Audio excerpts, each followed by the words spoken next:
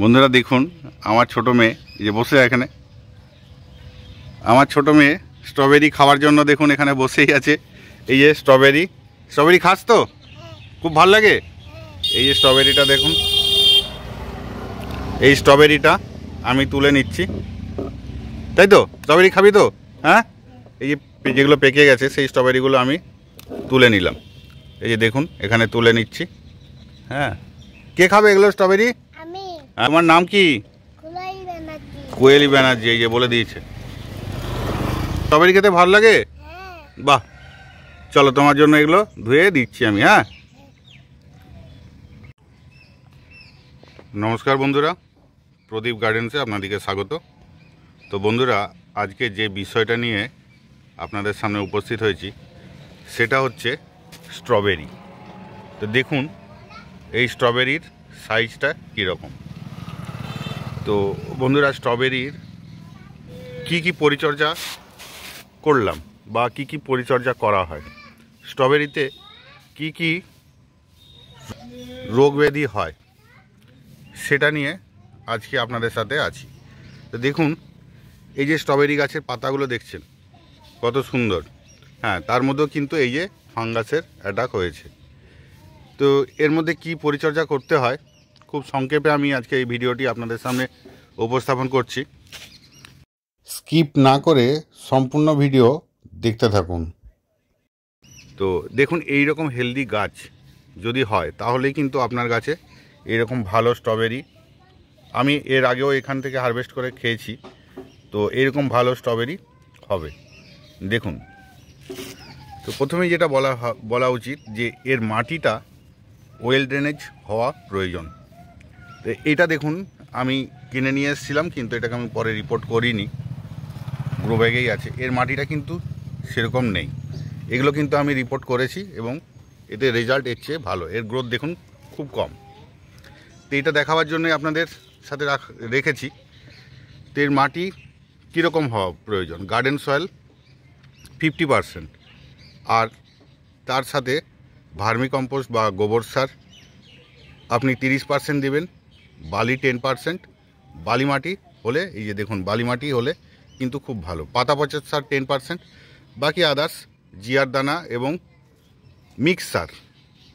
Mixer এর মধ্যে দিতে হবে। মিক্সার বলতে আর তার মধ্যে থাকবে হাড় গুঁড়ো, শিংকুচি, বাদাম খোল, এইসব দিয়ে একটা মিক্সার।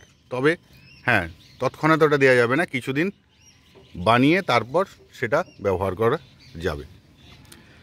তো বন্ধুরা, এতে কিন্তু মাইটস বা মাকড় আক্রমণ কিন্তু খুব বেশি হয় থিপসেরও আক্রমণ খুব বেশি হয়, পাতাগুলো কুকড়ে যায়। তো এরকম ফ্রেশ পাতা রাখতে গেলে আপনাকে অবশ্যই কাকা কাকা আপনাকে ইউজ করতে হবে। সপ্তাহে একদিন কাকা বা থিটা, এই দুটো বা কাটাপ্পা, এগুলো কিন্তু অর্গানিক, এগুলো আপনি ইউজ করতে পারেন। যেহেতু এই ফলগুলো আমরা খাব। ঠিক আছে? সেই জন্য অর্গানিক উপর বেশি জোর দিই। তো যাই হোক, এর আরেকটা হলো যখন এরকম ফুল আসছে, তখন কিন্তু একটু রাসায়নিক দিতে হবে ফলের সাইজ বাড়ানোর জন্য। তো এগুলো কি দেবেন? দেখুন, এই যে, এগুলো কিন্তু পরিষ্কার করে নিতে হবে। কি দেবেন? কুড়ি কুড়ি কুড়ি বা উনিশ উনিশ উনিশ ফলিয়ার স্প্রে করতে পারেন এবং গাছের গোড়ায়ও জলের সাথে ড্রিঙ্কিং করতে পারেন বা দিতে পারেন। আর কি, একটা ভালো মাইক্রোনিউট্রিয়েন্ট আপনার হাতের কাছে যা থাকবে, সেটাই আপনি কিন্তু দেবেন। গাছের পাতা সবুজ রাখতে হবে। আপনি প্রথম দিকে গাছ যখন গ্রোথ হবে, সেই সময় অল্প পরিমাণ হিউমিক অ্যাসিড আপনি দিয়ে দিতে পারেন, তাহলে গাছে শেকড়ে গ্রোথ খুব ভালো হবে এবং এরকম ফলগুলো কিন্তু অনেক বড় বড় হবে। তো এই যে দেখুন, এই গাছটা কত সুন্দর। আর প্রতিস্থাপনের সময় একটা জিনিস খেয়াল রাখতে হবে ক্রাউন এই গাছের ক্রাউন যাতে কোনোভাবেই না মাটির নিচে চলে যায়, তাহলে কিন্তু এ পচে গিয়ে গাছটা নষ্ট হয়ে যেতে পারে।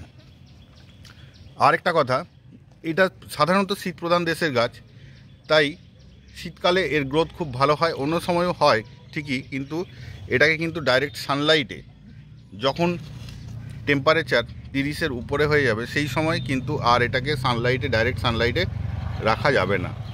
যখন সকালের আলো বা সকালের রোদ এক দু ঘণ্টা পেল, ঠিক সেই রকম জায়গায় এটা রাখতে হবে।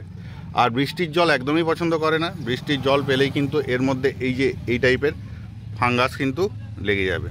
কয়েকদিন ওয়েদার খারাপ ছিল। সেই ওয়েদার খারাপ থাকার জন্য জল একটু পেয়ে গিয়েছিল বলে এই দেখুন গাছের এই অবস্থা।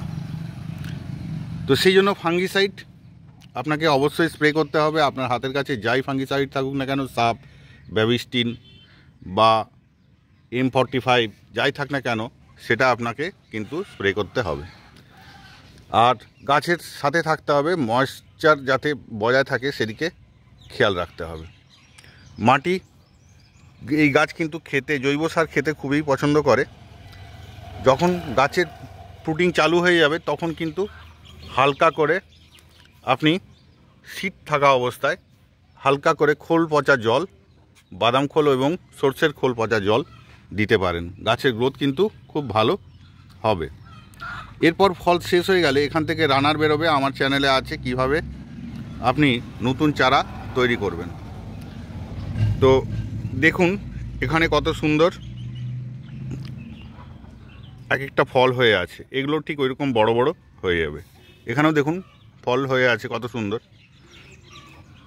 এই ছিল আজকের ছোট্ট একটা ভিডিও। যদি ভিডিওটি ভালো লেগে থাকে, তাহলে অবশ্যই কমেন্ট করবেন। আর কি নিয়ে ভিডিও আপনাদের চাই সেটাও বলবেন। কোনো পরামর্শ থাকলে সেটাও জানাবেন। আর কোনো জিজ্ঞাসা থাকলে সেটাও জানাবেন। একটা লাইক দিবেন এবং ভালো লাগলে চ্যানেলটি সাবস্ক্রাইব করে পাশে থাকবেন। এতক্ষণ ধরে ভিডিওটি দেখার জন্য আপনাদের অসংখ্য ধন্যবাদ। আজ এ পর্যন্তই। আবার দেখা হচ্ছে নতুন কোনো ভিডিওতে। ধন্যবাদ বন্ধুরা।